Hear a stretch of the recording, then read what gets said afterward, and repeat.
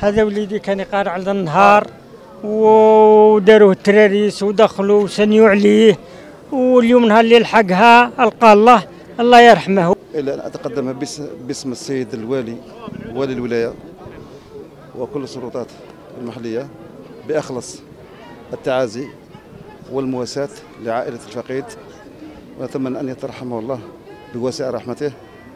ويتقمد ويسكنه فسيح جنانه اعضاء وكسكان ولاية سعيدة رانا واقفين في هذه الجنازة.